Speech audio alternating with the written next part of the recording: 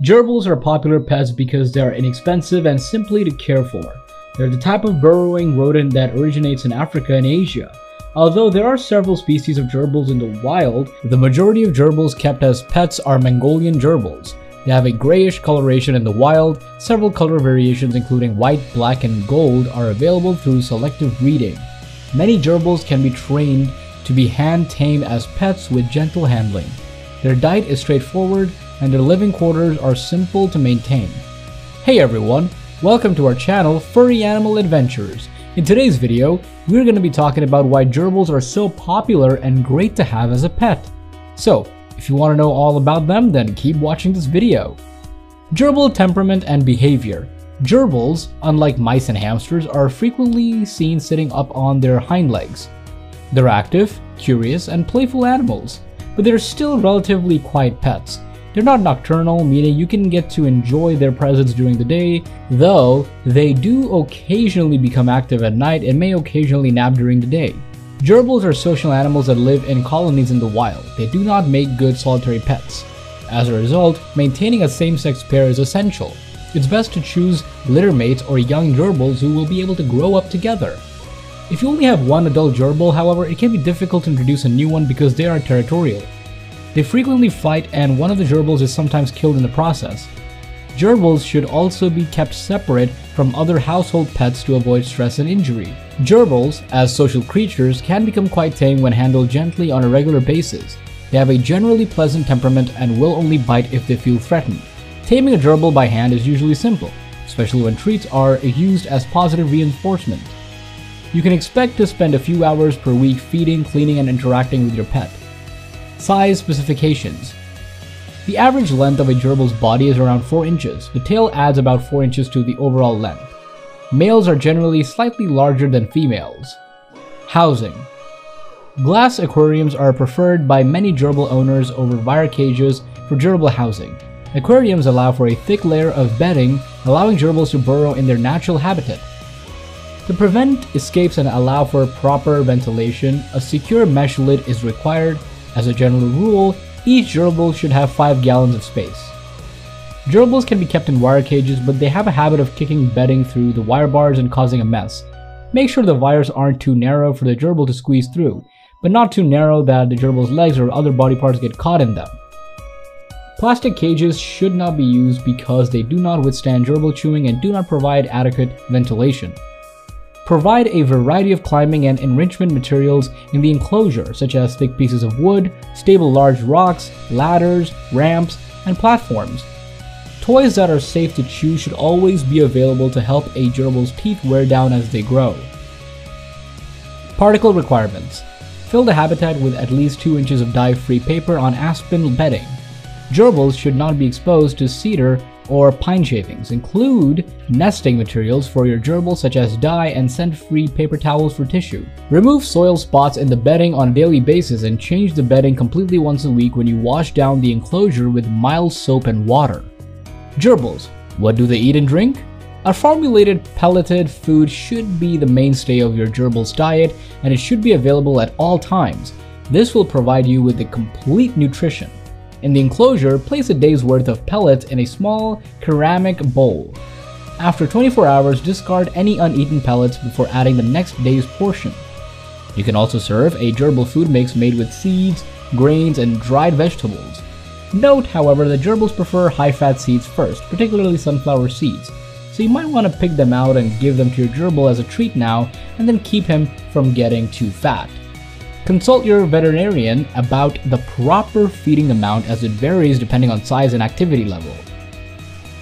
Additionally, provide small amounts of dried vegetables and fruits on a limited basis. Again, discussing the quantity with your veterinarian. Peas, broccoli, and apples are all good choices. To avoid spoilage, place dried fruits in a separate dish and remove them after a few hours. It's best to give them to your gerbil when he or she is most active. Finally, gerbils should always have fresh water available to them. A water bottle that attaches to the enclosure side is ideal. However, keep a water dish nearby until you're certain your gerbil is using the bottle. Replace the water on a daily basis, of course. Typical health issues. Gerbils are generally healthy creatures. However, here are some of the more common health concerns to be aware of. Injuries A gerbil's delicate tail is easily damaged.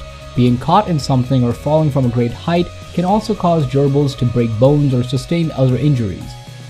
Digestive diseases Diarrhea is frequently a symptom of bacterial or parasitic digestive problem. Hair loss and skin irritation are two common side effects of parasites. Seizures. In gerbils, spontaneous seizures are fairly common.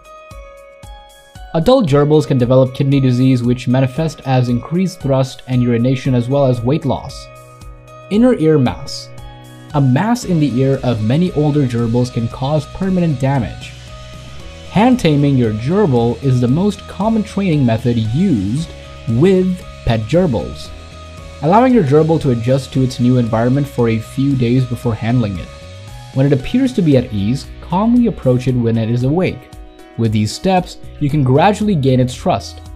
Treats can be given through the cage's bar, offer a treat through the open door cage when the gerbil accepts the treats on a regular basis, Place a treat in your open hand and wait for the gerbil to come over and eat it.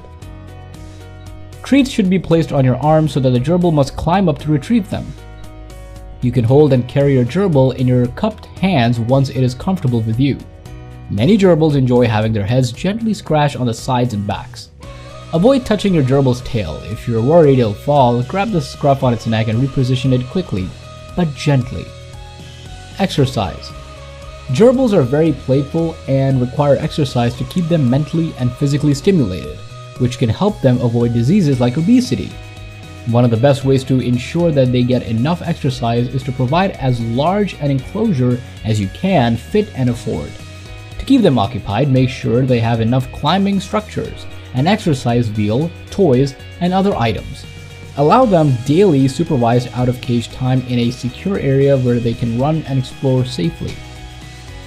Grooming.